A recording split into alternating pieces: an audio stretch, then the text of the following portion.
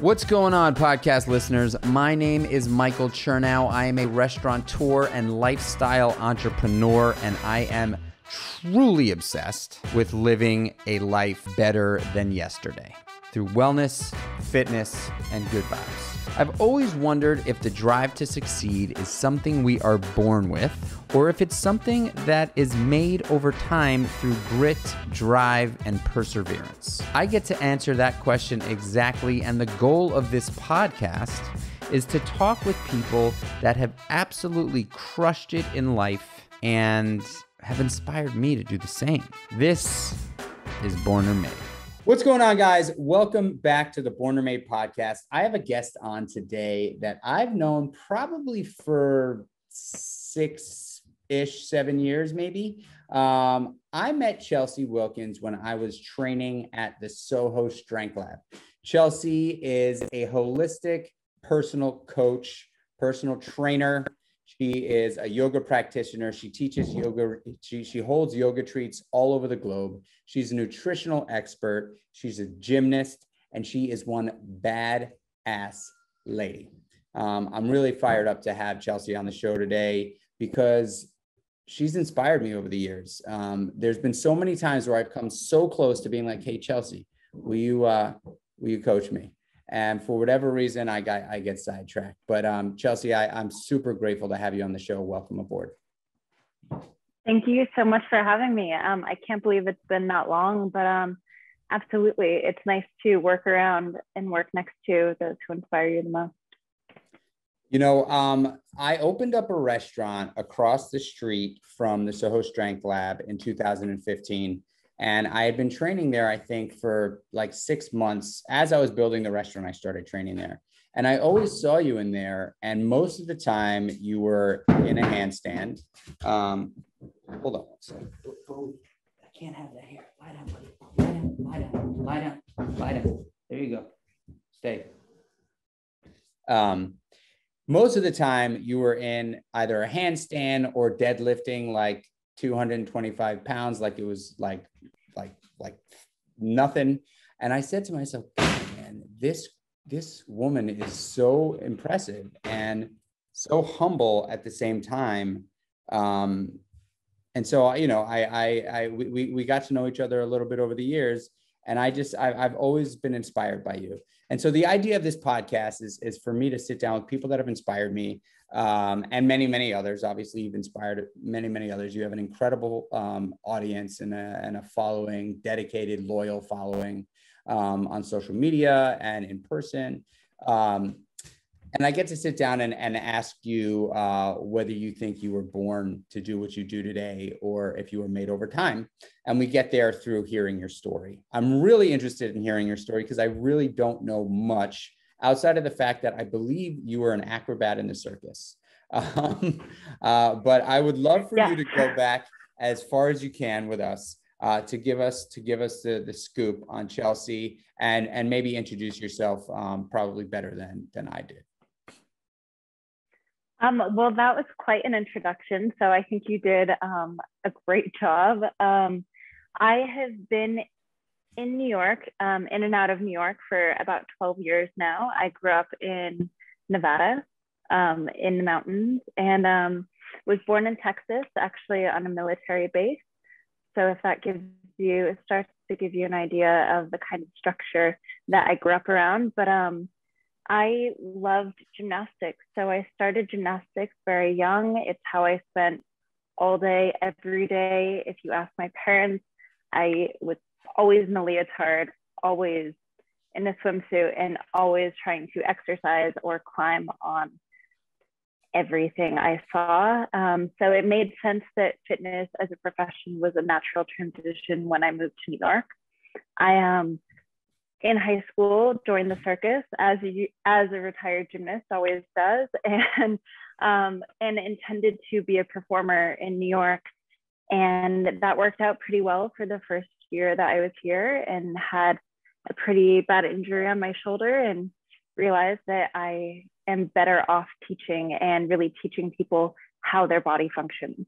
Um, I coached gymnastics for about 10 years. I coached for the Special Olympics for gymnastics in Nevada for 10 years.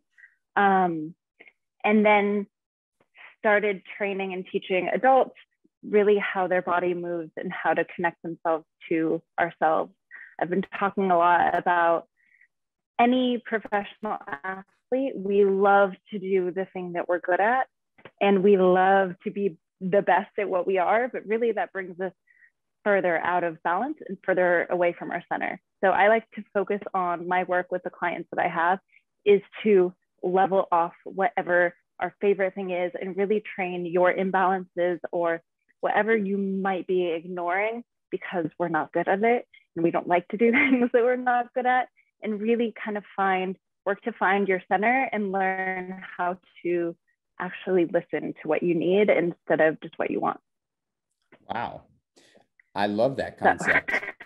you know, um, so growing up in Nevada is, I mean, it's one of the most beautiful places in the country for sure, parts of it. Um, and you know, I read in your bio that you grew up uh, doing mountain sports. So mountain sports, do you mean like rock climbing, mountain biking, things like that?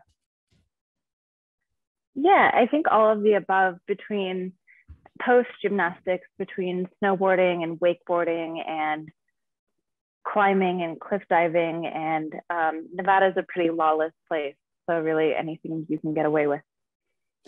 And and when you were coming up, you know, you said that you as early as you can remember, you were really just sort of dialed in on gymnastics and climbing things. And I mean, do you remember a moment in time that you were like, this is what I'm going to do, or this is what I want to do, or why you were actually going after it the way you were? I, I mean, I remember we moved around a lot when I was really young because military. So I remember a time in Oregon that I, in a swimsuit, because always, um, would put on workout videos and Jane Fonda and work out to exercise videos constantly because I just felt connected to movement. And um, so it kind of just made sense. And I was lucky enough um, when I became a gymnast to train under Stoyan Delchev, who won the 86 Olympics for Bulgaria. So I was kind of brought up with an Eastern European discipline, and that um, that always made sense to me. That's that kind of drive um, was always really satisfying. It never felt like a stress or obligation. You know, as someone who's a, a, a professional or was a professional athlete who is a fitness professional, nutrition professional, um, what are there moments in in in your life where you've had to take a significant amount of time off of fitness no. um, I have had a lot of injuries, and I was talking to somebody today who's a ballerina, and I think when you, especially when you think of the diet of a gymnast, is maybe we still had weekly weigh-ins, which can be negative on certain people, but I always treated food as something that gives you fuel and you have to eat properly to build your energy. So it was never a negative relationship with um, with restriction, but always are you getting enough of the right things? So I think when you approach your body about giving it what it needs and not kind of forcing through things, you just start to listen in a different way and you don't burn out. I, you know, fitness has been a huge part of my life, as you know, um, for years, for a long time. And I could honestly say that I don't think I've taken any significant amount of time off of training, uh, any significant amount of time. Obviously, uh, you know, three to five days here, you know, every once in a while. But I just, you know, when I talk to someone like you, who I know is grounded and has a sort of full circle approach um, holistically to wellness, what the, you know, is it healthy to take a break from fitness uh, if you are a fitness enthusiast professional you know nut job uh, is it healthy to take breaks and be comfortable with taking breaks i think especially as new yorkers we tend to burn the candle on both ends. Um, and it's important to not stress if you are on holiday for a week, enjoy yourself and do your thing. I I think that if you're exercising in balance, if you have a stressful week, then maybe you should do some yoga or go for a swim and not do a 50 mile run that week. Like it's, you need to understand what your body really needs, but you're not going to derail your progress by taking time off. You're only going to let your body heal and really understand what your body needs. Um, so I think it is it is important, especially if you need it, because I think that a lot of us aren't in tune with listening to what we need and we take it to the extreme. Let's talk about listening to the body for a little bit because I know that's a big part of, of, of your practice.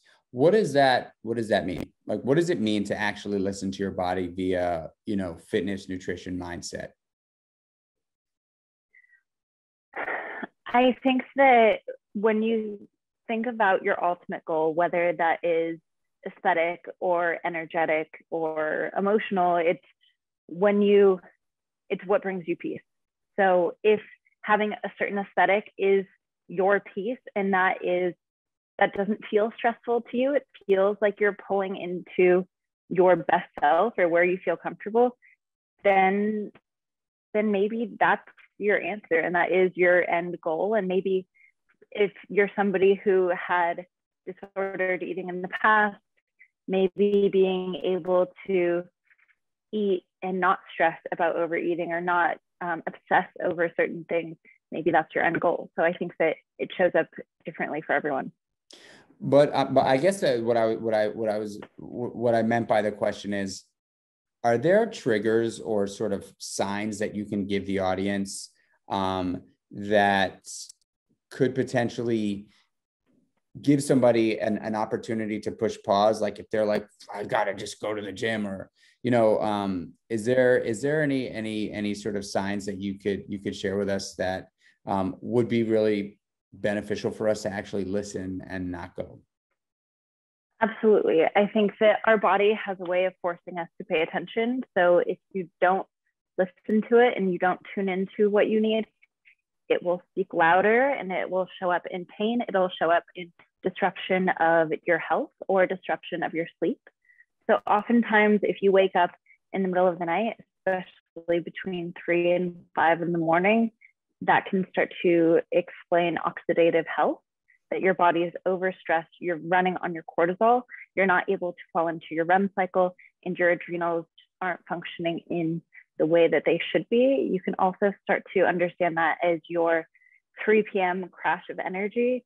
So when you start needing coffee and needing different things to balance you out, you're reaching to external things instead of finding internally what can relieve the stress or what can kind of refuel your adrenals or other organ function to um, to help you feel good and to help you function in full energy and um, and let go of anxiety or stress because all of those things are a tipping scale, right? It's a symptom of a larger cause. Anxiety is not the cause. It's just your body being like, you're not listening. Mm. When you're injured, and I'm sorry for asking such specific questions, but because I have someone like you on, I think it's so important to be able to like you know some of these podcasts are really story focused and others are really sort of informative. I think this is going to be a really informative one because i know just how knowledgeable you are about this stuff. So if somebody's injured and they are you know like do you recommend taking the the the, the you know prescribed time off um, if you're if you're injured but you start feeling a lot better it depends on the injury, right? If you break your wrist, does that mean you shouldn't be active? Absolutely not. Um, if you got an injury because you are doing ultra marathons and you constantly burn yourself out, then that's probably a sign that you are pushing too hard. I know that if I go below a certain percent body fat, my joints start to hurt. So you start to kind of tune into what you need. But if you have an ankle injury, you should start to ask yourself, what else can you do to heal your body? So that's not necessarily a physical practice. Maybe if you're forced to have downtime, then maybe that's the time that you really tune into your nutrition and you do emotional work. Maybe you start meditating. So you start to have different outlets for your stress or for healing or strengthening your body. Um, I think that's great advice. The um, the nutritional component uh, of of this world of wellness uh, is such a tricky one. I know for me personally, uh, what I've been focused on for the last three years has really been this this bodybuilding stuff, which has been such an inc- like obviously I, I, mean I love the training, the nutrition was something that I, I really had to get used to. It was really intense, both on both sides of the coin, like eating an enormous amount more than I was used to or comfortable with, and then eating far less than I am comfortable with uh, based on where I'm at in a season. Nutrition, in my opinion, from my experience, is 90 something percent of the battle, right? I, I think it's, I think getting people, I also would I also would argue to say, and and, may, and I could be wrong because I'm not a, a, a, a personal trainer, but I would say 90% of the people that are actually getting after it uh, are focused on aesthetics really really want to look a certain way and i don't think there's anything wrong with that. I actually think that that is is amazing and great right? If that's what if that's what is going to give you longevity is that if that's what's going to keep you healthy focusing on and investing in yourself i'm all for it. I'm one of those guys. I definitely like to look good because looking good makes me feel good. And when i feel good then i can be of service to others. And so uh, like what do, nutrition is specific and it's not like you can't prescribe everybody the same exact protocol. What do you think is the is the you know if you had to choose one style of of eating what would you say you know is the one that makes the most sense right now i think for what works for the most people is focusing on two things is focusing on hitting a protein goal and hitting a water goal. And I think that if you can consistently hit those two things, then you can start to worry about your macros. You can start to think about should I have less fat? Should I have more carbs? How do I balance this? Am I getting the right nutrition? But until you have the protein goal and the water goal on lock, the other things don't matter as much um, how you're fueling your body, having consistency, being aware of the consistency is really going to change more than doing a complete overhaul because um, it's overwhelming. If you do too much, one, you don't know what it was that made the greatest benefit, or you don't know what didn't work for you. So it it ends up being more of an all or nothing thing where if you start hit your goals consistently, and then you can kind of fine tune the details. Can you unpack that a little bit? Why why protein out of all the macros, or you know why protein out of the three macros, and and why why water? Why are those two things, in your opinion, the most important to focus on? I think for the most part, clients come to me with, like you said, um, with an aesthetic goal that they want to lean out, they want to be more toned. So the easiest way to create tone is to put on a little muscle and protein will help you do that. So if if your body is if your body needs to recover from a hard workout, protein's going to help you along. Um, so often we calorie restrict. I'm so sick of hearing trainers tell clients, if you want to lose weight, just be in a caloric deficit. And then the person you're working with is eating a thousand calories. They have no energy to do anything and they're not reaping the benefits of all of their hard work. So if you're dealing with somebody who is actually working out and trying really hard to get somewhere, if they're under eating, you're causing the problem. Um, so I think that encouraging them to focus on what they need to recover, what they need to build and be successful, how to build a strong foundation, not what you take away from somebody, not only creates better emotional strength, but you're building your physical strength um, for the goal. I couldn't agree more. I think protein is uh, everybody, you know, so many people talk about carbohydrates. Uh, carbohydrates are like the hot topic for years. It's not even, it's not a new thing, right? Like carbohydrates are, it's a confusing, it's a confusing macro. Everybody thinks it makes you fat, which I actually know for sure 1000 million percent carbohydrates. I mean, if you're eating pizza and fucking pasta all day long, yes, you're going to be, you know, you're not going to, you're, you're, you know, it's going to be, a, it's going to be trouble. But carbohydrates, I eat it. I eat an enormous amount of carbohydrates all the time. I am um, always, if I eat more carbs, I am leaner and I am happier. I tried keto. Um, I tried keto back when I was very, very lean, and it made me put on body fat. I was never at 100% energy. I was cranky. I was not a nice person to be around. I had to promise my partner to never do it again because I I wasn't a good version of me. And really, when I focus on hitting a higher carb, I'm less likely to binge eat the next day. I sleep better. I have better energy and a better output into my physical work that I've put in. All right. So I want to I want to I want to continue talking about nutrition because I think it's so important and I, and um, I love I love your thought on you know when you're meeting with somebody that really is just trying to get into it you you you prescribe two things water and protein. So if somebody's listening and they're trying to you know break into it or get back into fitness and and they know nutrition is the path to greatness in, in the world of wellness what do you what would you say pro like for someone who's trying to just start protein wise what would you prescribe uh you know female 120 pounds looking to get into it? So, as long as they have no outlying um, issues, they have healthy kidney function, healthy organ function, trying to hit about 100 grams of protein would make a huge difference in their body composition.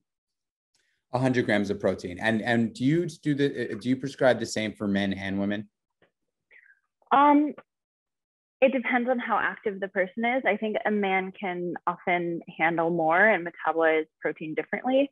Um, so with a man, I think also when I work with men, they have more of a hypertrophy goal. They're trying to put on a bit more size um, than just maintaining size and putting on more muscle. So you would say kind of like based on that, you would you would say for a female starting out let's give you let's do like 0.75 uh, grams of protein per body fat and then mm-hmm. would you say for a male uh, starting out with a goal of probably wanting to put on some muscle and shred shred down one one and a quarter grams of, of protein per gram of, per pound of body fat i mean of course it is more personal than that but but yes i think that when you focus on those numbers and you hit it consistently. And ultimately you see what works for you. If you kind of hit a ballpark and then you're you do this for two weeks and you start to understand okay i actually feel better if i get more. Or i was hitting that number and i was really bloated. Maybe i try a different protein source or maybe a little bit less works better for me. So you mm-hmm. start to understand especially depending on what your workouts are that day. I know that if I'm doing cardio one day versus strength training, I will have a different macrobiotic ratio because it makes me feel better and it makes helps me recover differently. What kind of protein do you like? What's your favorite source of protein? In whole food or in supplementation? Whole food. Whole foods, um, beef. I know. Um, so lamb is actually the most easily digested of the red meats. But when it comes to eating animals, if you think about bird, birds eat grain and they eat corn, and those are often things that uh, create inflammation in a lot of people, and it's not very nutritionally dense. So when you eat those things, yes, it's a lean protein, and if you're cutting and you need very specific needs, then that makes sense. It's an easy source to hit those numbers, but when you think about fish and lamb and cow, they eat grass, they eat seaweed, they eat nutritionally dense food full of phytonutrients. So that makes sense that if you're eating those things, um, it has more iron and it has more nutrition. So it makes sense, right? Do you, I mean, that's such a great point. I actually, I eat far too much chicken. I just do. I eat far too much chicken. I eat way too much chicken. Uh, and now you're making me think a little bit. Maybe I need to pipe that down a bit. You know, I love, I love red meat. I, I, I love red meat. I just got 95 pounds of grass fed, grass finished bison uh, sent to me from this amazing farm in uh, Montana called Glacier Grown. Okay. I am always curious though, how much red meat can I or should I eat realistically? If it's clean red meat, like how many days a week is is it safe to eat red meat? I mean, are you talking about in terms of your arteries or in terms of the economic system? Um, I think a lot of different things come into play, whether you're, um, depending on the reason why you're eating more or less. I think, is it okay for your arteries if you're in your heart, if you're eating that much cholesterol? Yeah, it is.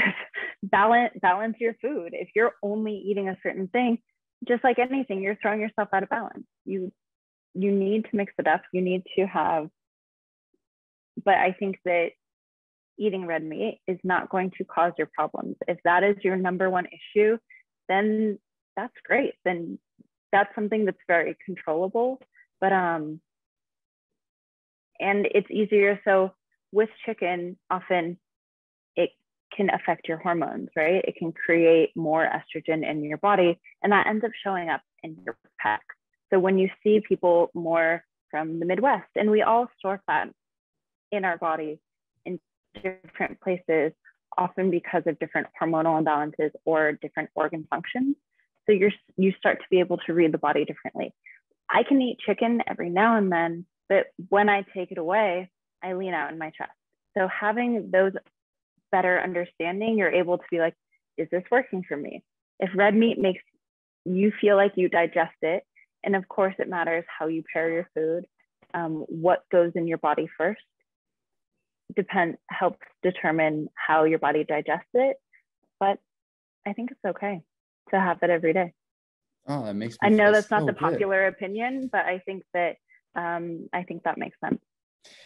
You know, I, like I've been hearing a lot about, and I think a lot of us have, right? This carnivore diet, and people are, you know, resorting to only eating red meat, period. That's it. They only eat meat, red meat specifically. And some some people that are actually long, like have been doing it for some time. I mean, look, let's also call a spade a spade here. It's just not a sustainable way to live, right? Like you can't only eat beef and bison and elk you know and you, you just like I, I, I feel like that that you know it's that that's a that's sort of a, a, a, bit of a of a stint or a trend. It's not it's certainly not a lifestyle. I consider paleo a lifestyle.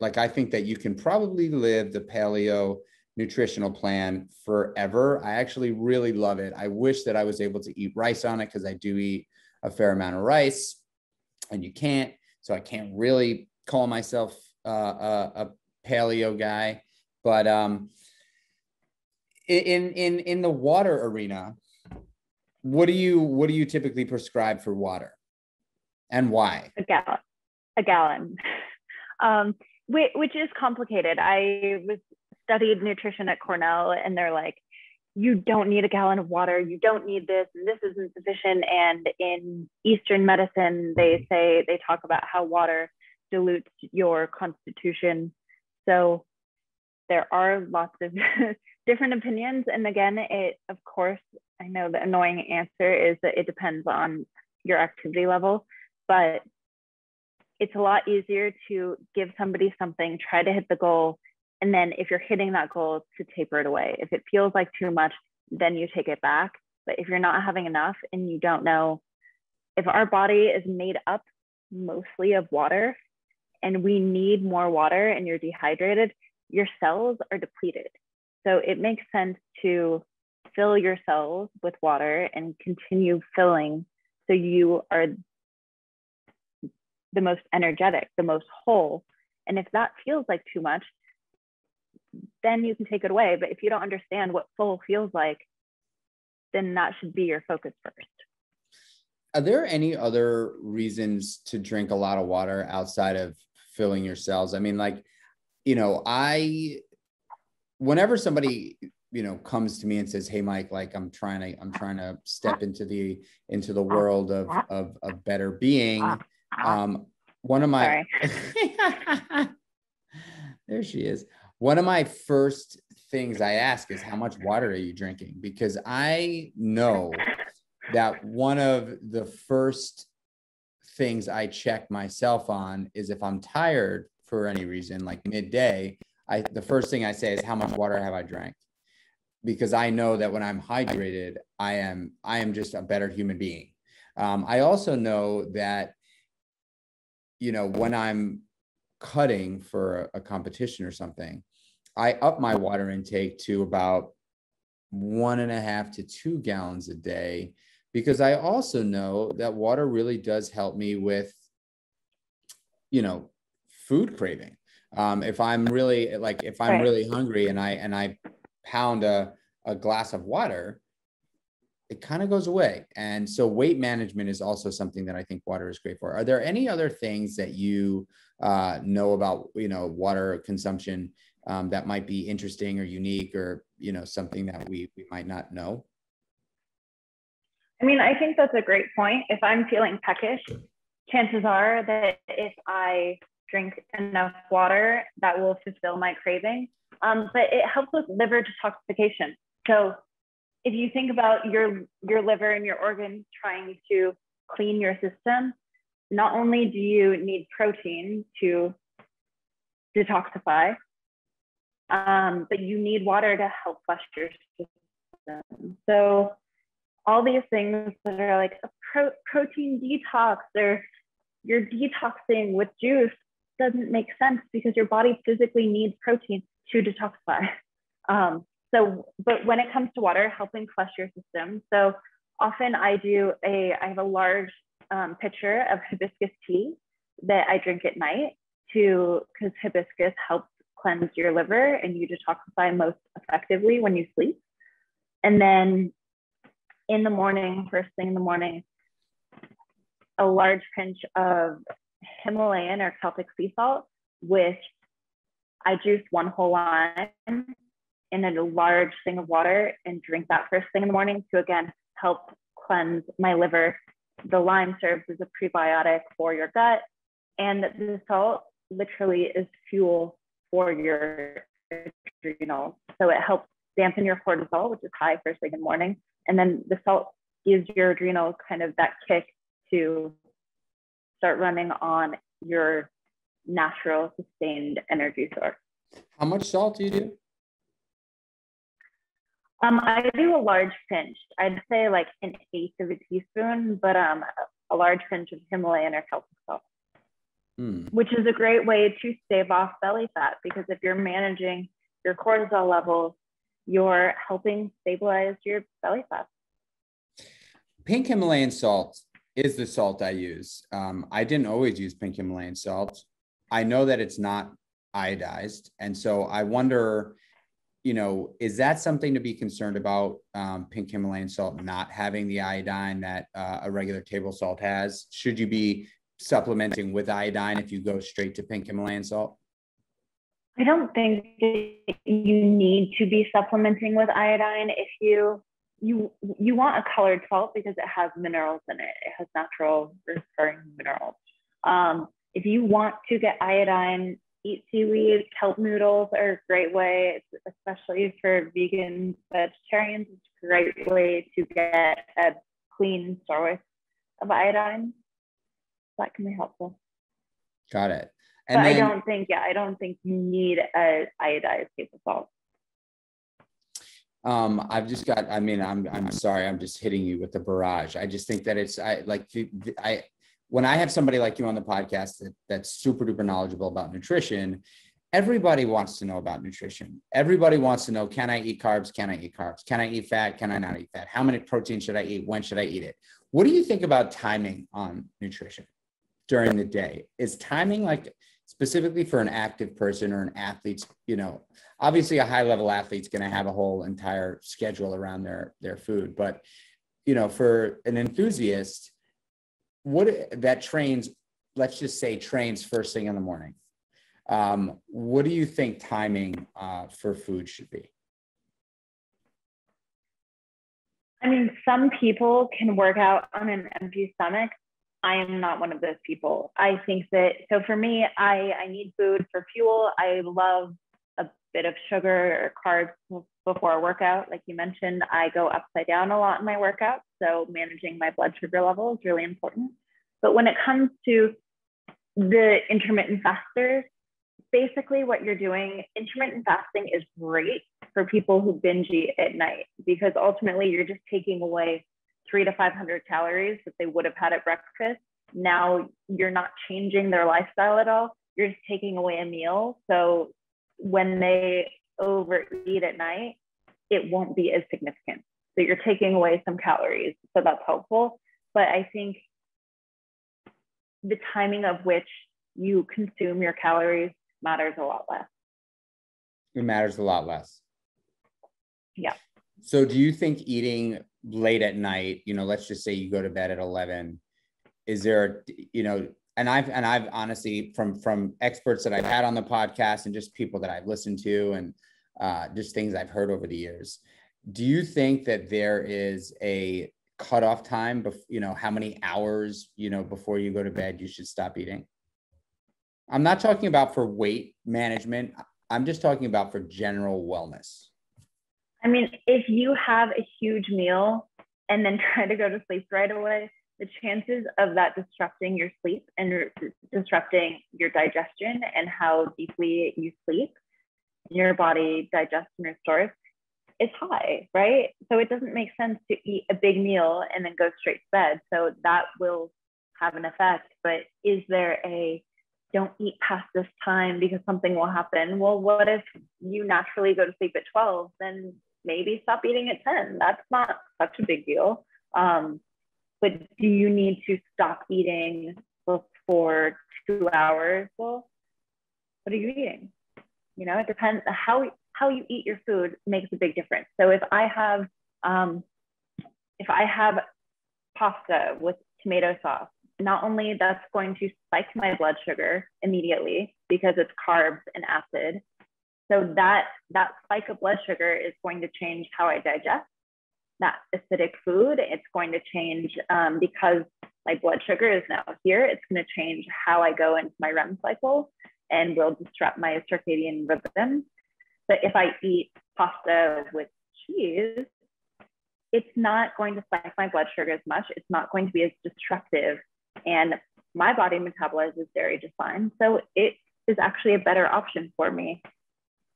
So it, it does depend on the timing of your food, what you ate, hmm. and did you spike your blood sugar? Are you pretty stable? Did you have fat, fiber, or protein before your carbs?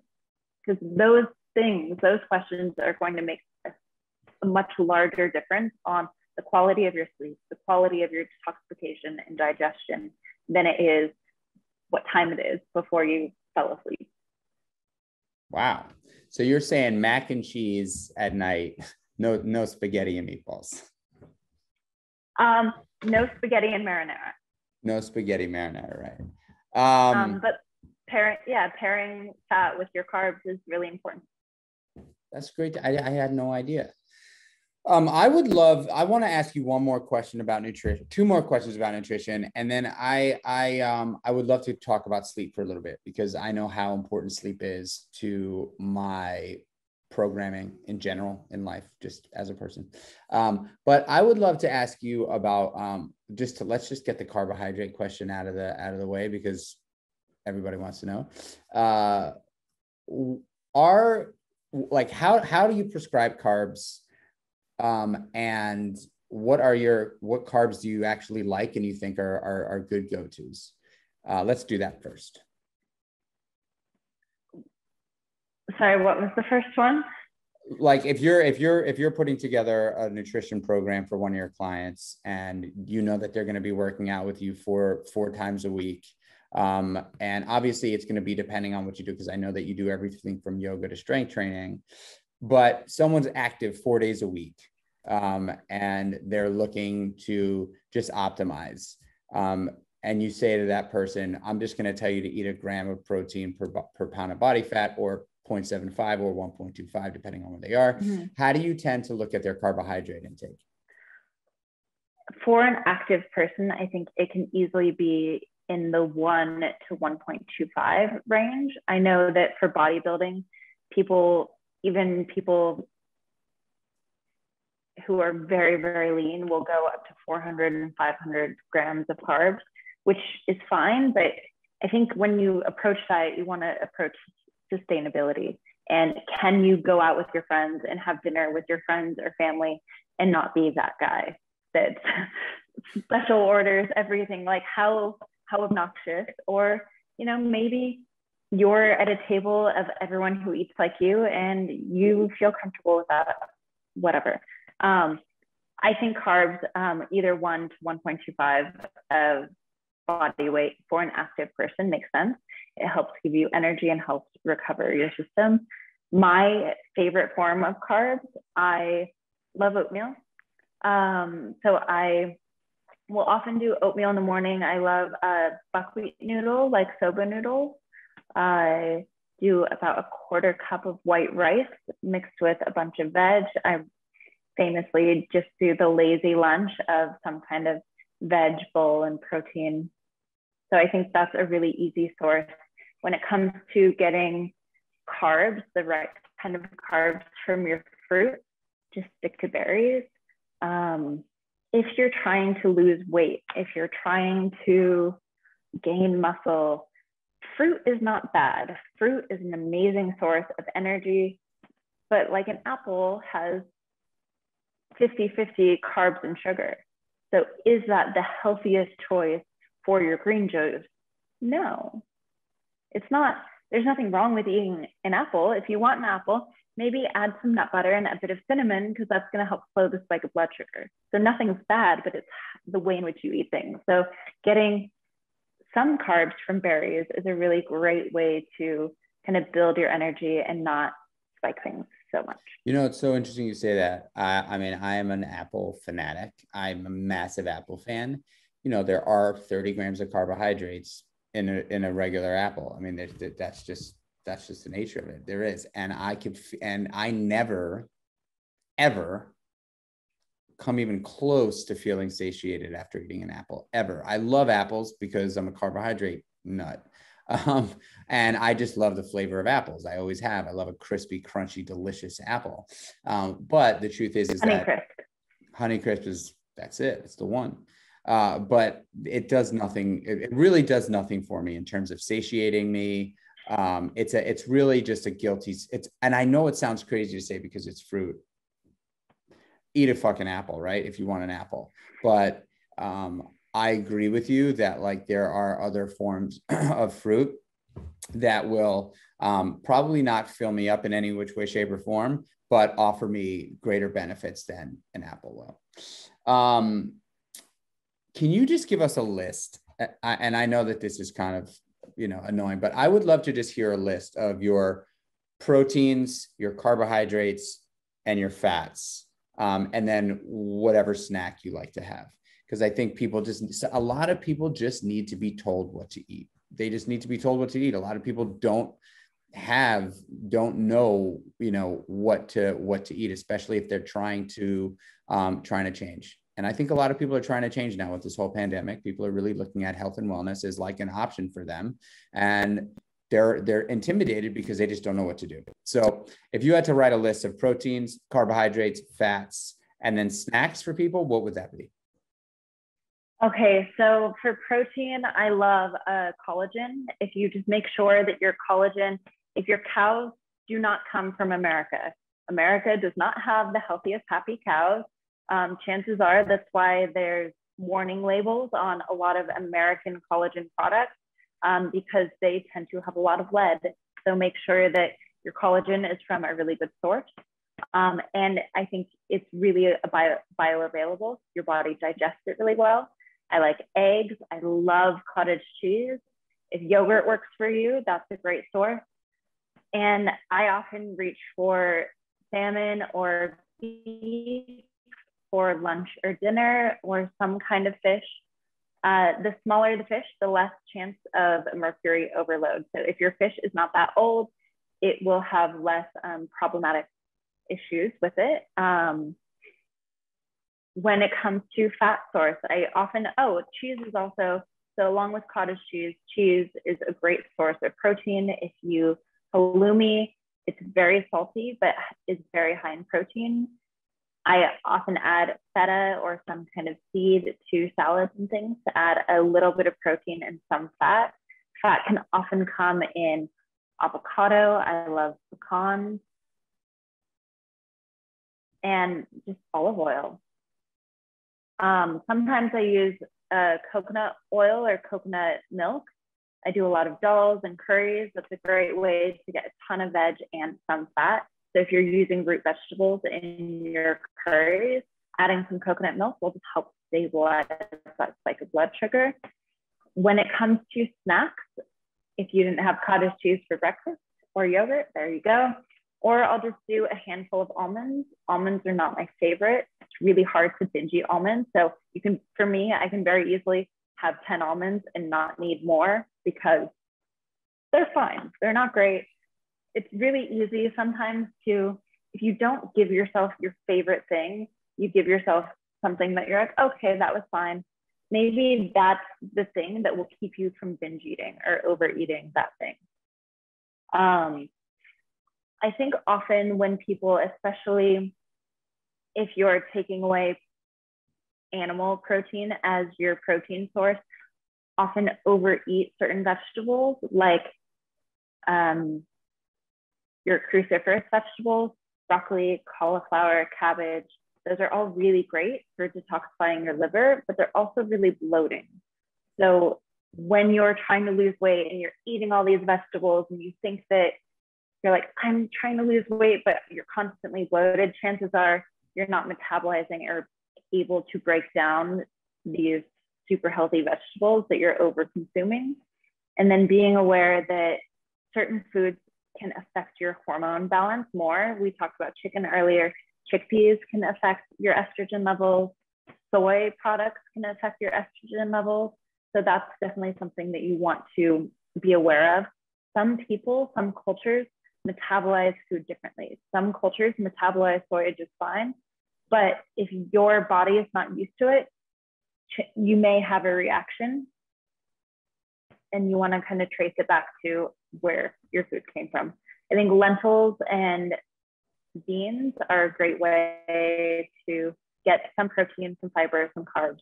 But again, it's easy to overdo those things. Mm.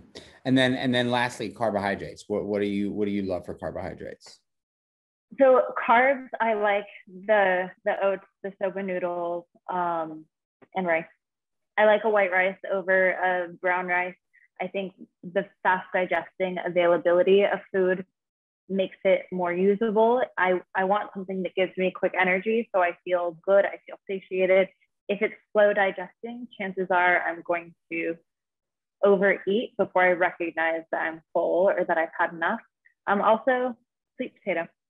Sweet potato is a great thing, especially as a snack. If you add like a bit of nut butter on a sweet potato and a couple berries, you're good. I love sweet potatoes. All right, I know I only have you for a few more minutes, um, so I just want to quickly get into sleep, and then we'll wrap this thing up. Um, tell tell me about sleep. Tell me what time you go to bed. Tell me what time you wake up. How important is sleep to you? How many hours do you think we need to optimize? I just, I would love to go to bed at 10. I think I actually go to bed around 11 and I wake up at 6 because I am an absolute morning person and I wake up bright eyed and bushy tailed. um, I think the quality of sleep is so important that when you wake up in the middle of the night can give you feedback of information. So learning to pay attention to the feedback that you're given. Waking up in the middle of the night because you have to go to the bathroom is not something an adult should do.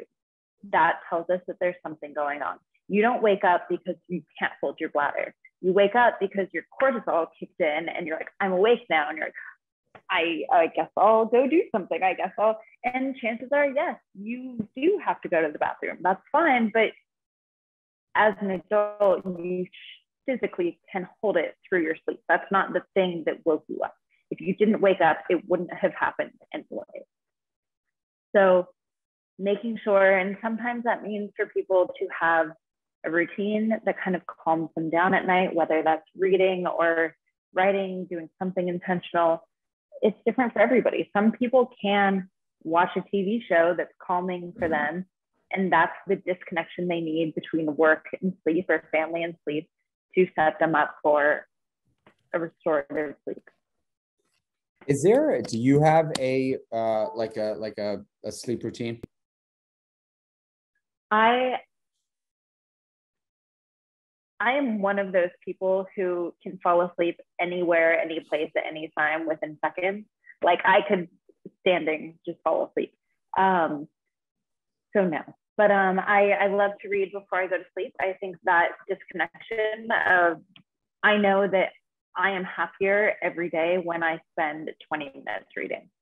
Um, I think it's a matter of just taking that time for myself to to dedicate to something that I know makes me feel good that alone is just calming for me and that kind of helps set me up for sleep. And so you you you read 20 minutes before bed pretty much every night? Yeah, I try to, yeah. That's great. Um, last question. Two actually two more and then we're done. Um, habits are a massive part of my life. Habits pretty much are everything in my life. Uh, I think habits are what make us or break us. And I would love to learn of a few habits that you have been doing for a long time or that you just have started doing that you really love that have helped actually change your perspective.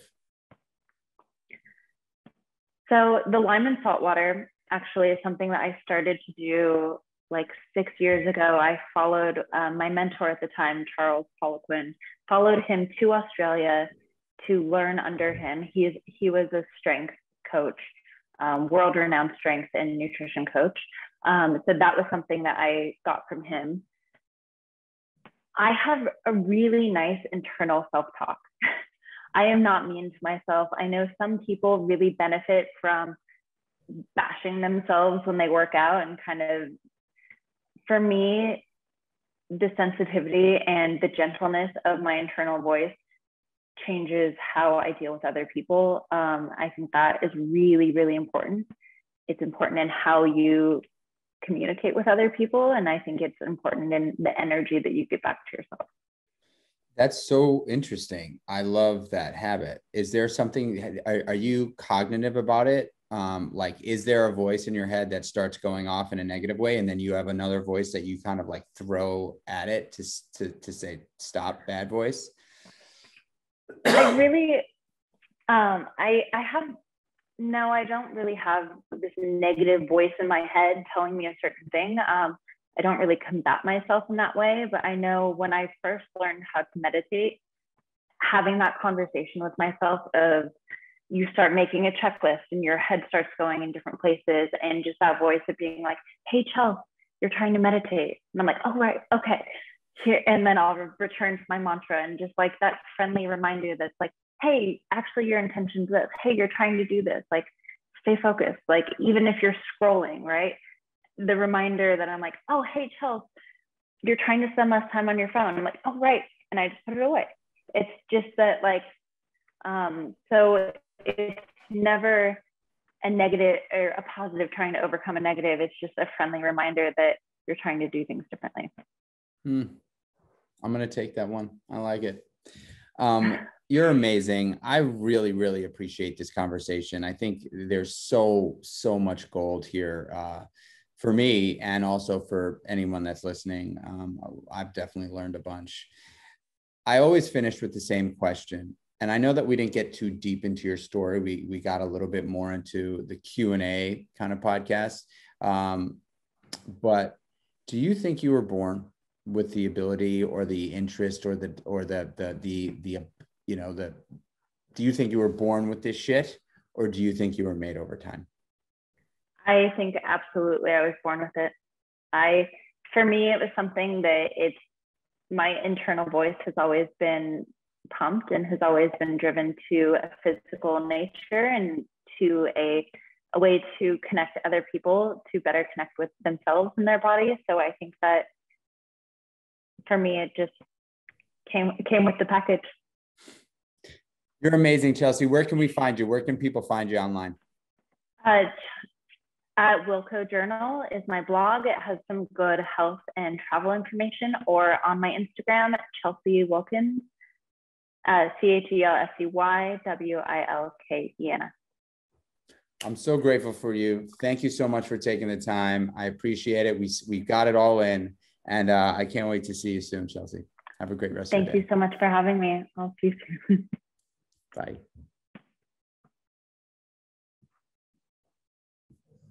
That was great. We got a lot of uh a lot of a lot of good good stuff.